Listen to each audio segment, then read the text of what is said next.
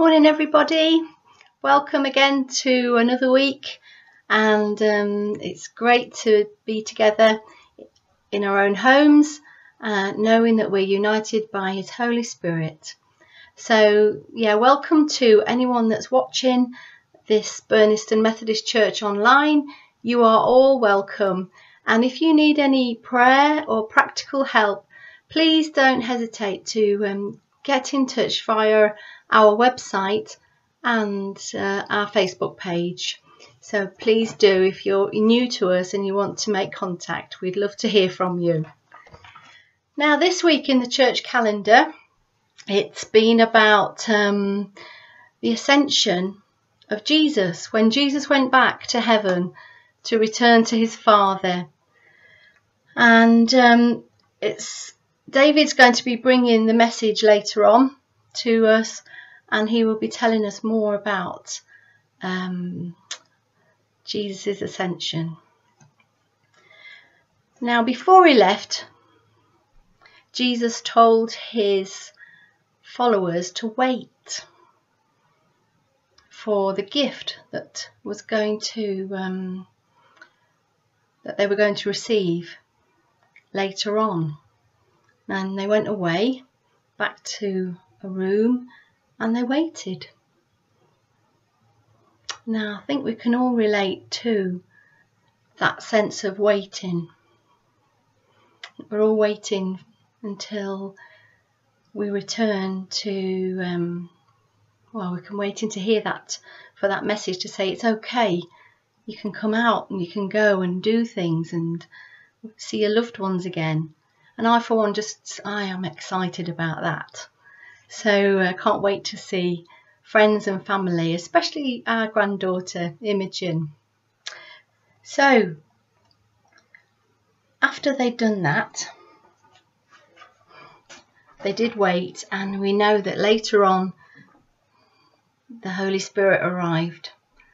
Now, as believers, we know that the Holy Spirit is already living in us, and we can rejoice in that knowledge. That's not something we have to hang around waiting for. That is something that's real to us already, and He gives us the power to be more like Jesus in every way and every day. And knowing Jesus is the best way. And we thank you, Jesus, that you have given us everything that we need to live the best life. And Lord, you know us and you love us. So I'm going to start. Um, let's um, let's pray, and then I'll tell you what's going to happen next. So let's uh, have a moment to pray. Lord Jesus, we thank you that you've sent your Holy Spirit to live in us, and we rejoice that your presence is constantly with us. Lord, we ask that you will fill us afresh with your energy, renew our minds, Give us a new imagination to perceive new possibilities today. Give us ideas and creative ways that we can share the good news of knowing you, Jesus, especially in these times of non contact. Help us to know how we can share your good news. We pray for our families, our neighbours and communities, our nation, that they will seek your face. Reveal yourself to them in extraordinary ways so that they may come to know you. Heighten our sensitivity to your promptings to respond to the opportunities you give us to share your love and grace with others. Lord, thank you that we can wait on you and you always turn up and you're always with us. We love you, Lord. Amen. Now, the next bit of our service is going to be led by our young people who are going to bless us with the Lord's Prayer. So don't close your eyes for this prayer, keep them wide open and watch all of our young people telling us more about the prayer that Jesus left us with about his Father, the provider. So be blessed today and enjoy uh, the, the rest of the service and God bless. Our Father, who is in heaven, holy is your name. Your kingdom come. Your will be done on earth as it is in heaven. Give us today our daily bread. And forgive us our sins, as we forgive those who sin against us. And lead us not into temptation, but deliver us from evil. For yours is the kingdom, the power, and the glory, forever and ever. Amen!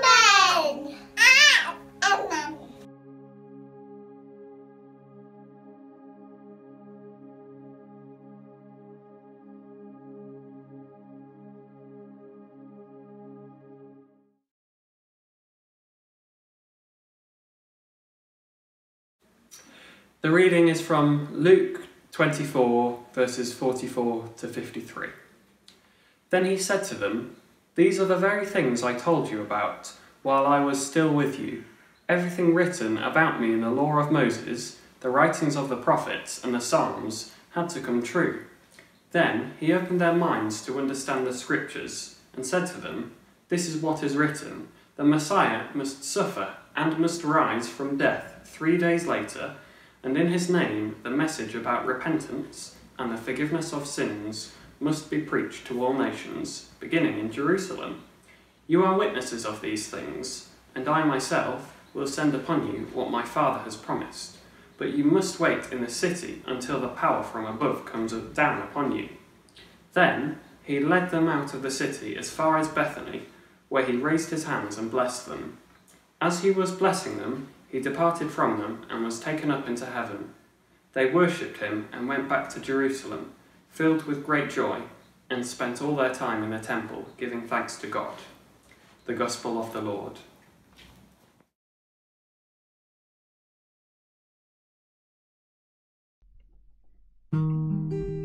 We've got a riddle for you. What has a soul but no body? It needs healing, but it has no wound.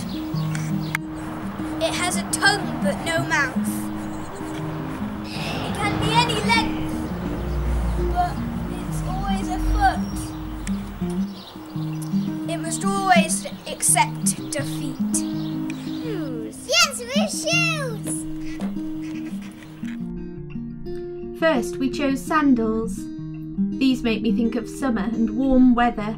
They are also quite like the sort of shoes Jesus would have worn. He was a child and a teenager. He knew the same temptations and difficulties as us.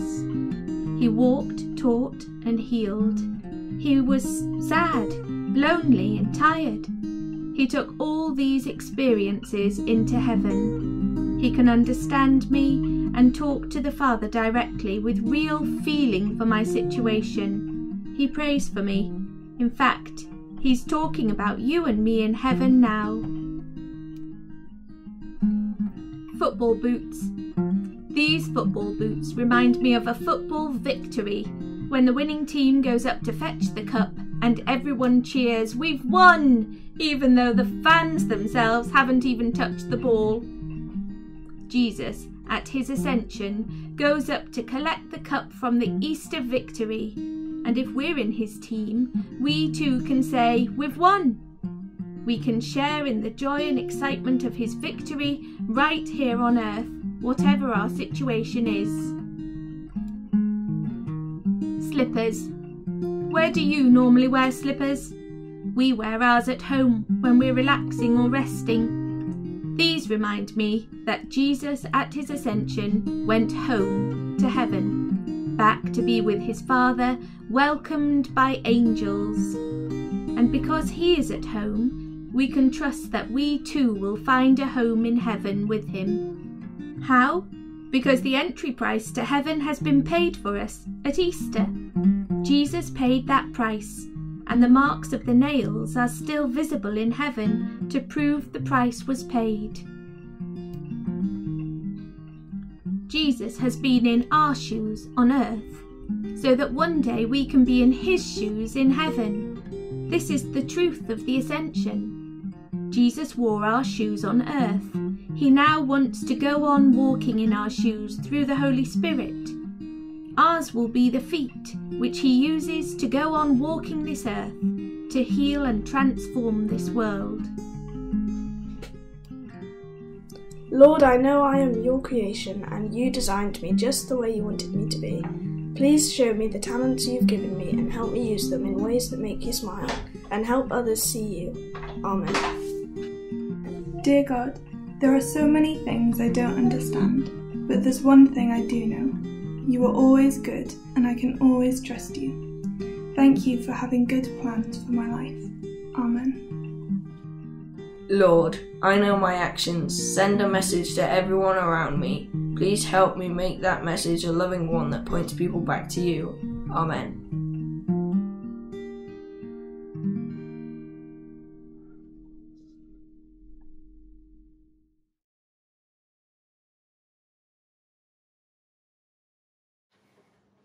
This Bible reading is from the book of Acts, chapter 1, verses 1 to 14.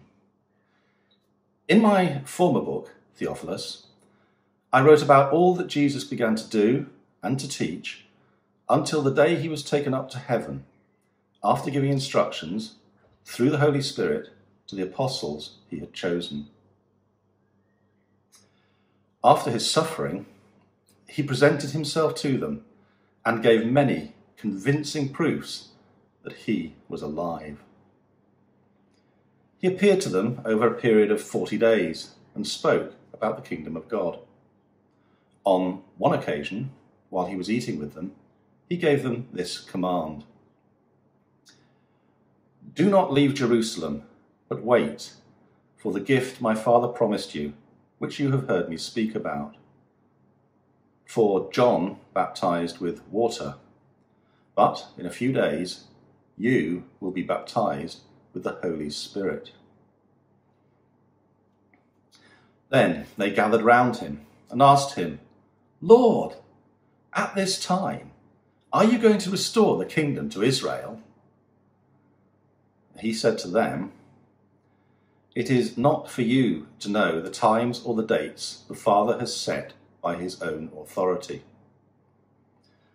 But you will receive power when the Holy Spirit comes on you and you will be my witnesses in Jerusalem and in all Judea and Samaria and to the ends of the earth.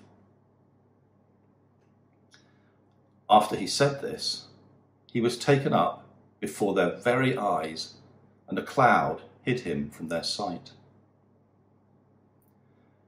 They were looking intently up into the sky as he was going, when suddenly two men dressed in white stood beside them. Men of Galilee, they said, why do you stand here looking into the sky? This same Jesus, who has been taken from you into heaven, will come back in the same way you have seen him go into heaven. Then the apostles returned to Jerusalem from the hill called the Mount of Olives, a Sabbath day walk from the city. When they arrived, they went upstairs to the room where they were staying. Those present were Peter, John, James, and Andrew, Philip and Thomas, Bartholomew and Matthew, James, son of Alphaeus, and Simon the Zealot, and Judas, son of James. They all joined together constantly in prayer, along with the women and Mary, the mother of Jesus and with his brothers. Amen.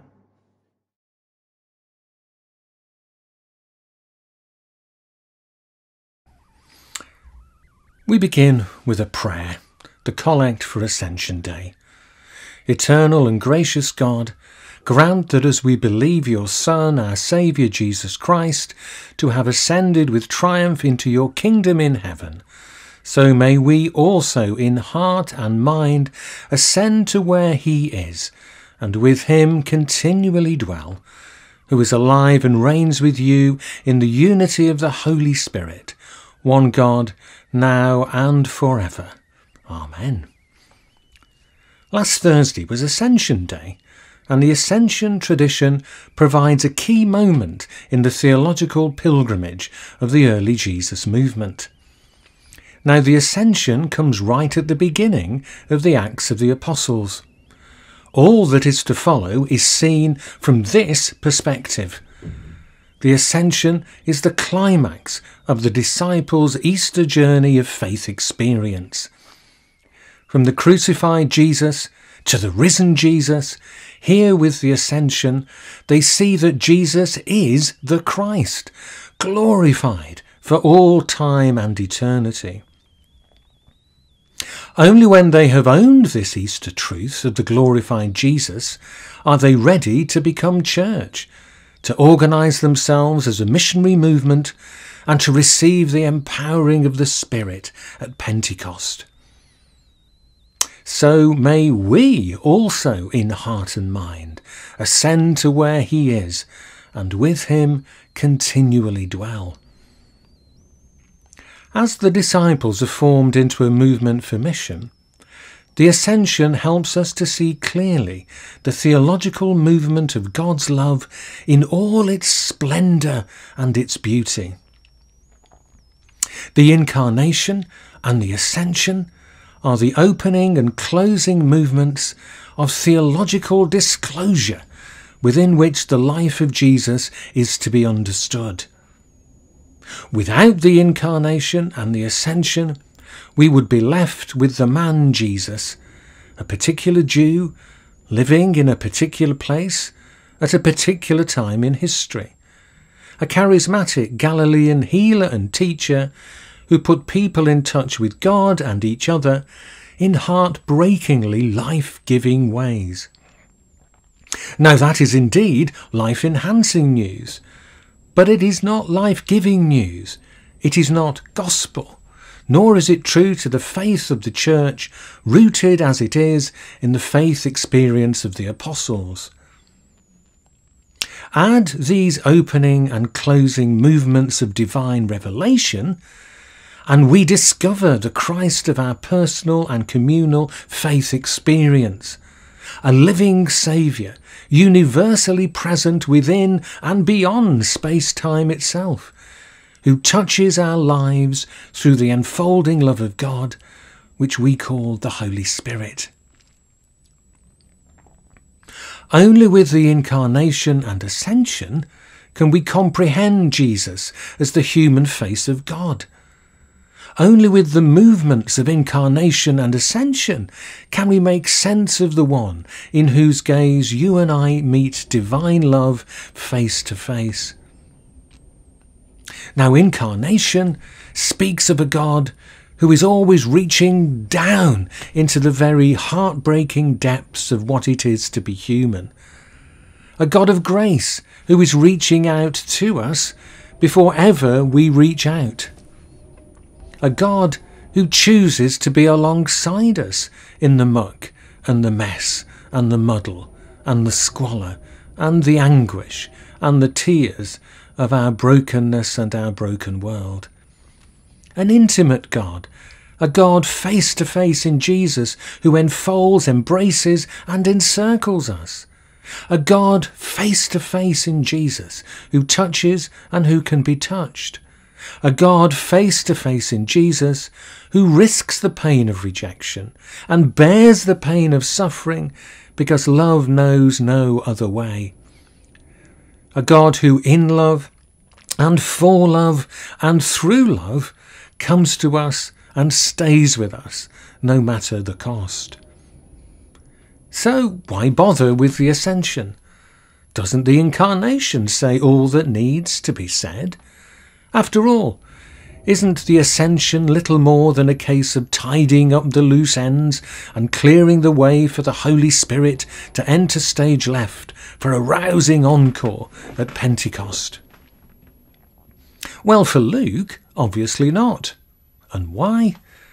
Because the ascension expresses the essential truth of our faith experience that Jesus is Lord and Saviour. Jesus is the risen cosmic Christ. If in the incarnation we express the truth that God reaches out to us in Jesus, through the ascension we express the life giving truth that in Christ we are taken into the very heart of God. So may we also, in heart and mind, ascend to where He is, and with Him continually dwell. The life of Jesus Christ is universally and eternally significant because the truth which the Ascension story expresses is a paradigm shift from the particular to the universal, from the limited to the limitless, from time to eternity, from the local to the global, from the centre to the edge, from humanity to God, from Jesus to the Christ. From the bitter, down to earth reality of crucifixion, the gaze of the disciples is drawn to heaven and the universal truth of Christ. The God who comes to us in Jesus is the God who in Christ yearns to draw everyone to himself.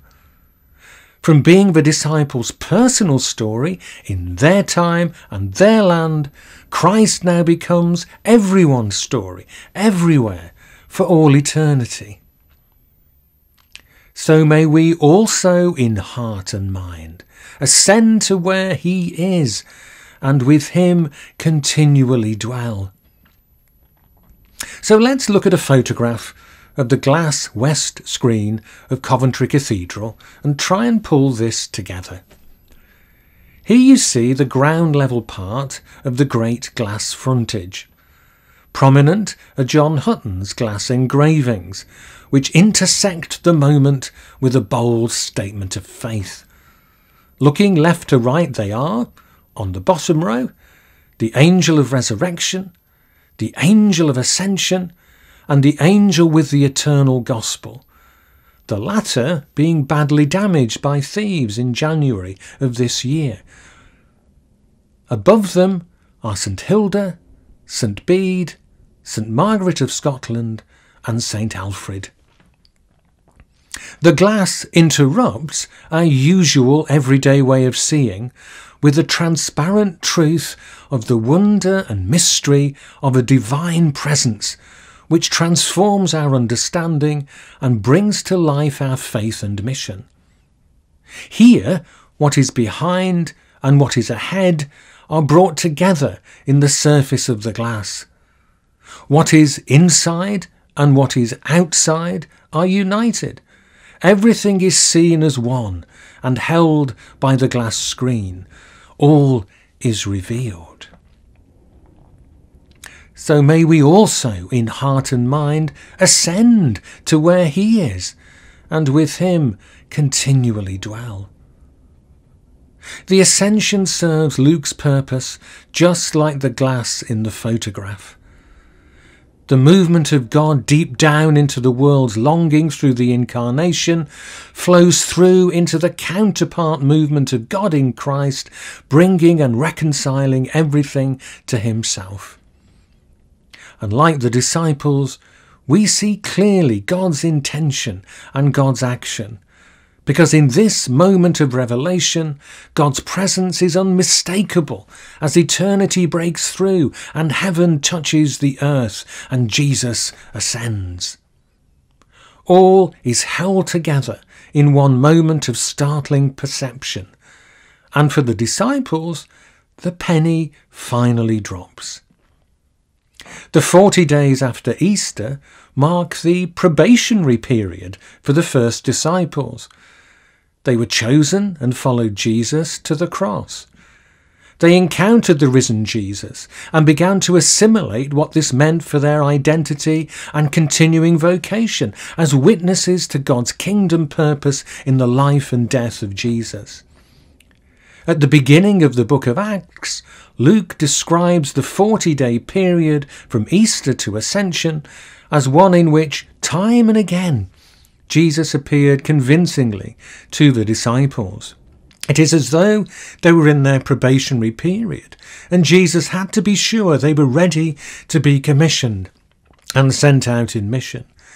He will not leave them unless and until they are ready for the task which awaits them. So clearly, again and again, he speaks about the kingdom of God. And if bringing the kingdom of God to a needy world is their task, he also promises them the power with which to achieve it, the Holy Spirit. Until then, they are to stay where they are. Two things seem to be essential. Firstly, that once and for all, they truly get their heads around the fact that God's priority is the inbreaking of the kingdom of love, and that this must be their first priority too. Putting faith into practical and radical action is at the very heart of what it is to be a disciple of Jesus. And secondly, it follows that this is only possible if they really do trust that Jesus will always be with them at the very centre of their being. Luke tells us that they asked Jesus a question Lord, is this the time when you will restore the kingdom to Israel? It's not a good question, as it betrays their lack of comprehension about just what God is up to and about to do through them. God has no intention of being confined to their limited imaginations. This is not about restoring a long lost monarchy to Israel. Still less is it about what Jesus is going to do for them. It's a question that says so much of their need for clarity and certainty. Is this the time? Is this the time when you will put things right just as they once were? Well, as we struggle through lockdown, we have so many questions like these too. Like the disciples, we crave clarity and certainty. We too want facts we can trust, rather than the confused and confusing whiff-waff of promises, which are all too soon and all too often broken. So Jesus lets them down gently by saying that it's not for them to know the times or periods that the Father has set by his own authority. Then he turns their question on its head and gives them an answer they did not expect. It is not about Jesus restoring anything. It is about what they are going to do. Jesus says to them, But you will receive power when the Holy Spirit has come upon you, and you will be my witnesses in Jerusalem, in all Judea and Samaria, and to the ends of the earth. And the commas in that sentence really matter, because the pauses are vital. Jesus has just shocked them into a new and thrilling paradigm shift. He has put before them an unexpected, daunting, and yet thrilling prospect.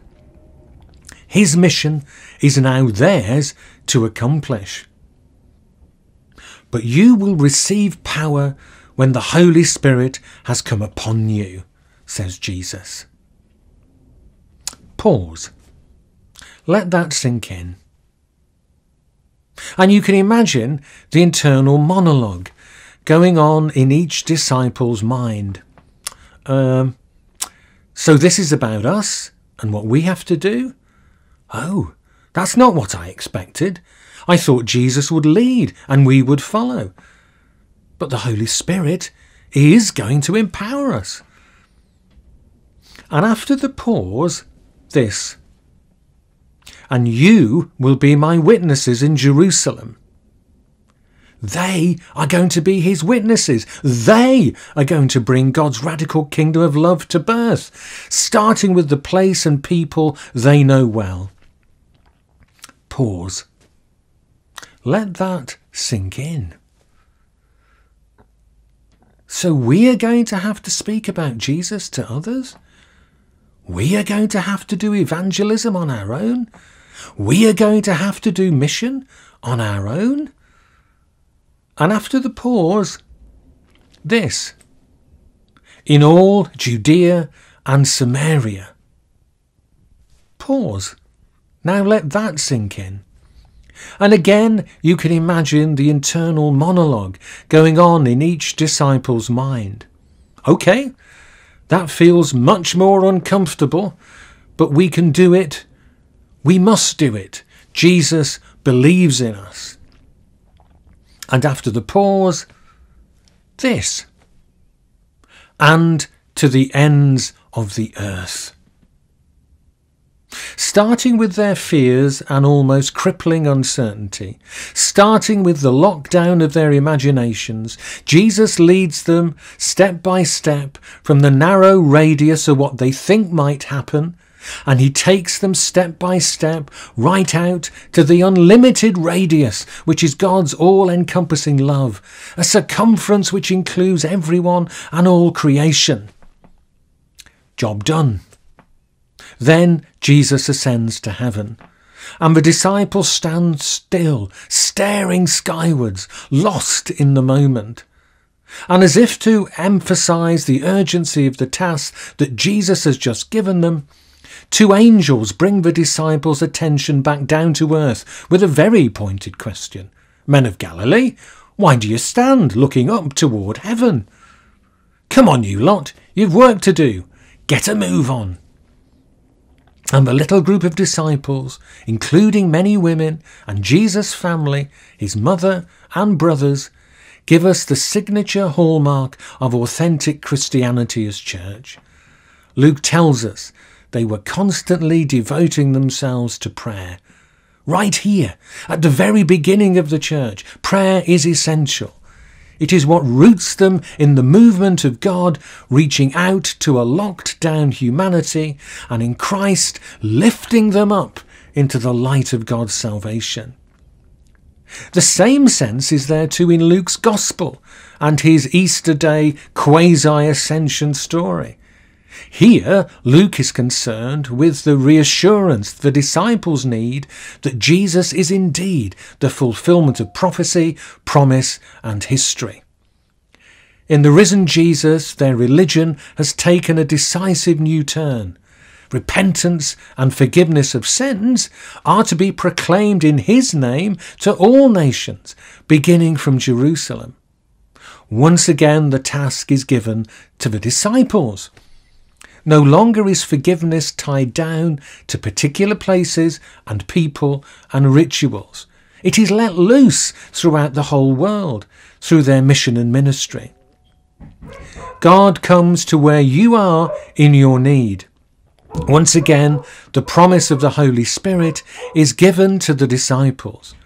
And finally, as his last act on this Easter evening, Jesus blesses his friends and is carried up to heaven.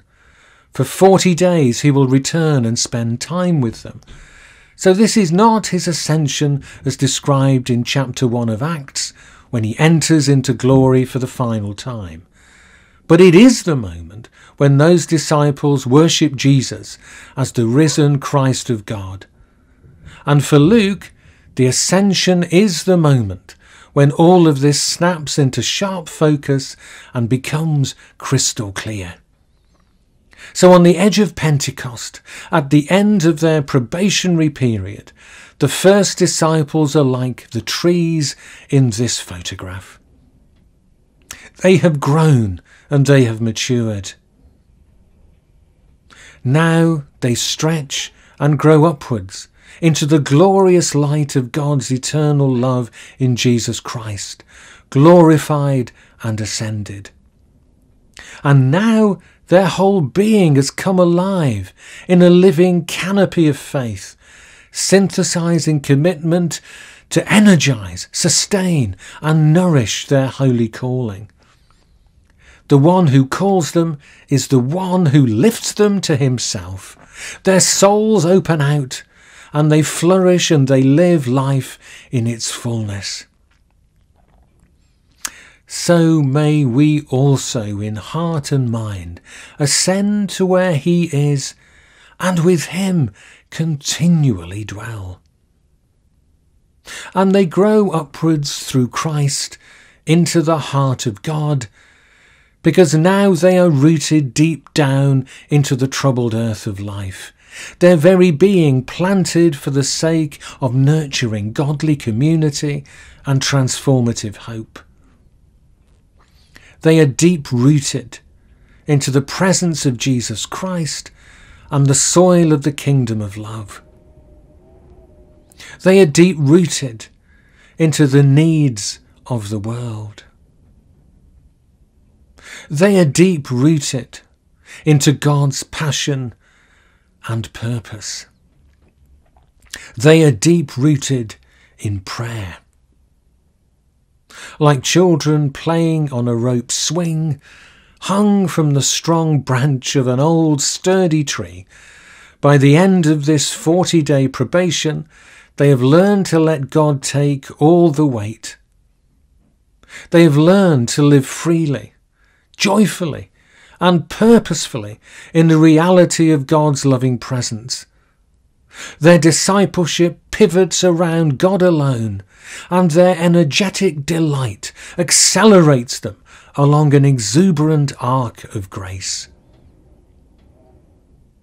They have accepted the truth that the strong rope of God's love for them in Jesus Christ will never fray or break. So may we also, in heart and mind, ascend to where He is, and with Him continually dwell. In forty days, they have changed from being fearful and frightened into trusting, confident, passionate, and kingdom focused disciples. So Jesus knows that they are ready for Pentecost. Now they would no longer be in need of convincing proofs. From now on, they were to be the proof for others of the living truth of Jesus Christ. They would become energized into an unstoppable movement. The Spirit which was so manifest in Jesus, the Spirit at the heart of God's continuing creation, was soon to be self evidently present in them too. So may we also in heart and mind ascend to where He is, and with Him continually dwell. As we look forward to Pentecost, we stand where the disciples stood like them, we are held transfixed by the glory of the ascended Christ.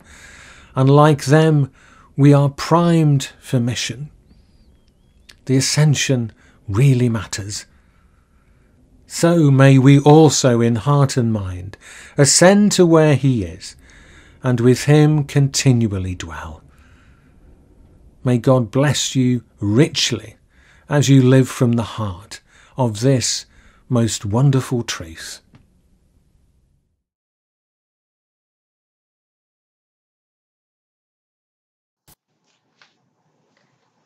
As we gather together today, no amount of physical distance between us can prevent God's work here on earth, and nothing can separate us from the love of God. So let us come boldly before God's throne of grace, for we are his royal priesthood and a holy nation. Our Father in heaven hears our prayers, and Jesus, our risen Lord, who has ascended to the right hand of God, is interceding for us every time we pray. Let us bow our heads as we say the prayer that Jesus taught us.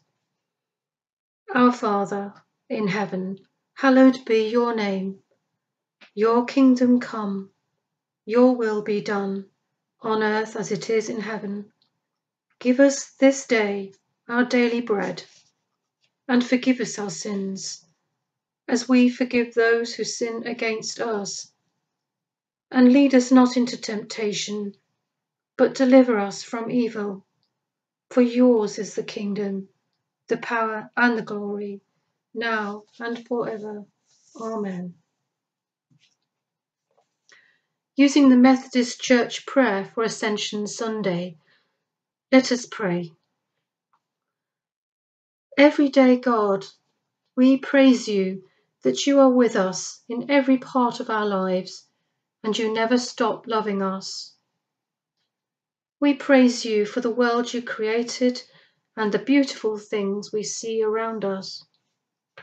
We praise you that you came to earth in Jesus to show us in person how much you care about us and the world we live in. As we remember your ascension, we thank you that you did not leave us alone, but sent your Spirit so that we can always know you are with us. You invite us to join in your work of loving people and the planet, and we pray that you show us how we can share in your mission of love. In Jesus' name we pray. Amen. Heavenly Father, as we grow closer to you in difficult times, we thank you that isolation is actually strengthening our unity and fellowship at Burniston. Teach us, Holy Spirit, to hear you prompting us to reach out to each other prayerfully, imaginatively, restoratively. Let us not hide the gifts you have anointed us with, our ideas, ourselves, our acts of kindness under the bed. Let's not do that. Let us pause to ask God to increase our desire and really ask Him for these gifts. Give us a fresh anointing of your Holy Spirit, we pray.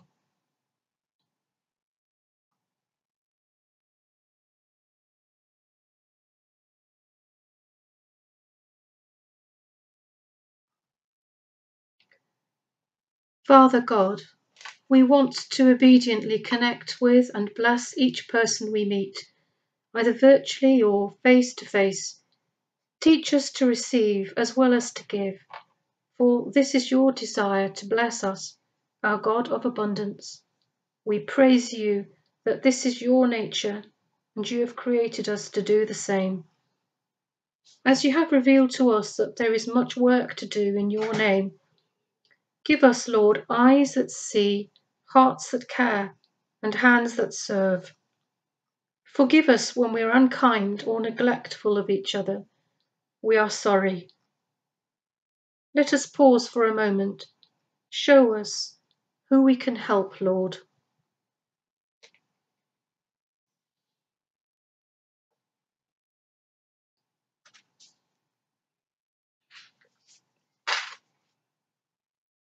We thank you, Lord, for your kindness and faithfulness to us. As you are anointing and equipping us with many resources, help us to mobilize these, even in lockdown. May we use this time as a God given opportunity to be generous with our time, money, skills, gifts of food, to show kindness in our suffering community. Bountiful Lord, you are already showing us how much can be achieved when we can all pull together. We thank you for all those who work tirelessly behind the scenes, serving Burniston Church community, including virtual church, all the Zoom fellowship groups, prayer groups, and ladies' WhatsApp. We praise you, Lord, for making virtual church such a blessing and faith builder at Burniston.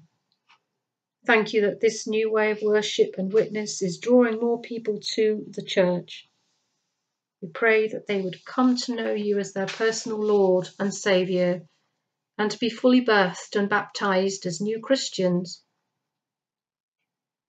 Lord, we are mindful of those among us who are unable to access virtual church or associated technologies Please guide us with inspiring and practical solutions for our brothers and sisters in Christ.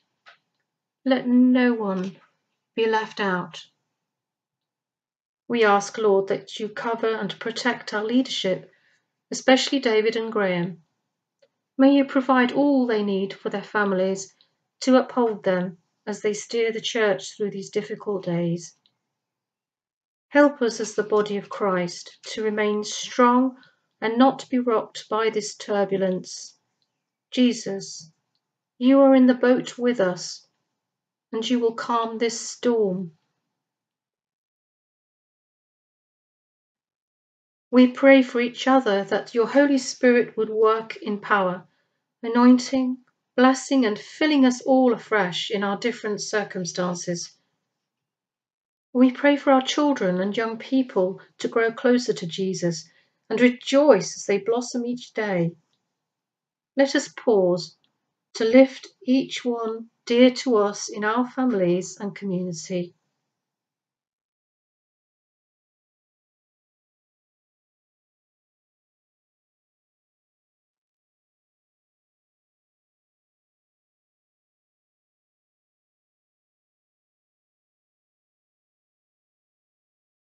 Faithful God, we pray for and give thanks for teaching staff who have been keeping schools open for children of key workers. We lift up all these precious young ones, especially from the 1st of June when they'll be joined by more children. We ask for hope where there is fear, for calm where there is strife, and for your loving protection over all children and staff. Father, we pray for those people who are suffering from this horrible virus. We ask that you be close beside them, laying your healing hand upon them. We thank you for so many answers to prayer, both in our church and across our land. Thank you, Lord. We cry out to you, Lord, for all the elderly folk suffering from the virus in care homes. Wrap your safety around them as well as the staff working so diligently in unsafe conditions. We pray for people to forgive the mistakes that have been made through wrong decisions.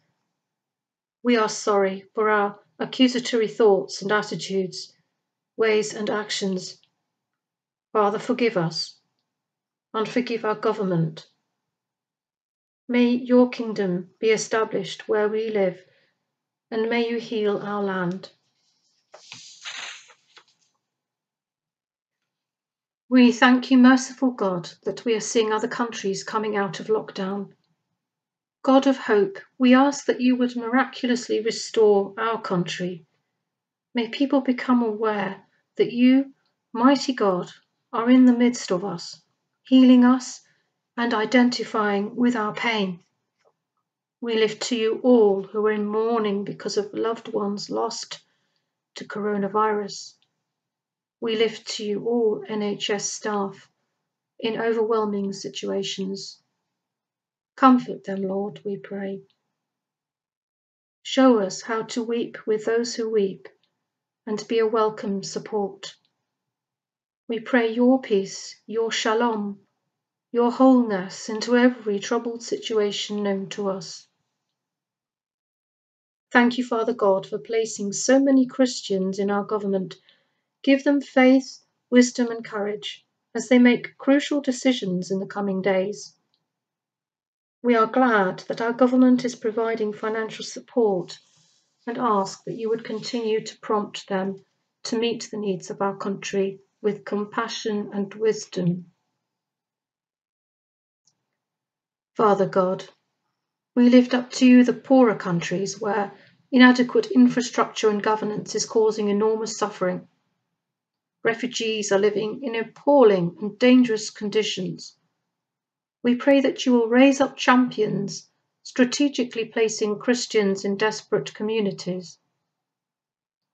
We ask, dear Lord, Prince of Peace, that you would bring calm and stability into all the situations we're praying into today. We pray your peace, your shalom, your wholeness into every troubled situation. Let us pause to reflect and pray for people known to us who are in difficulty, pain, loneliness, and suffering. Come, Lord Jesus.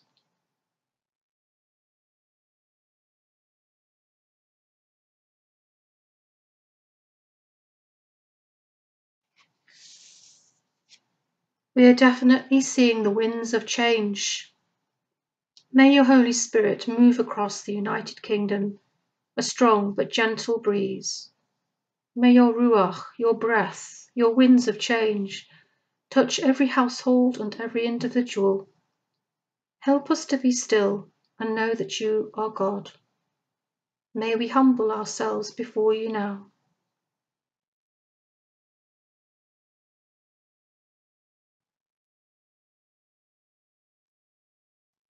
Lord, heal our land. Let your kingdom come. Our hearts cry out that in the coming weeks and months we would feel your loving safety. May our homes be the dwellings of the shelter of the Most High, for then we shall not fear the deadly pestilence, which shall not come near our tent. Amen.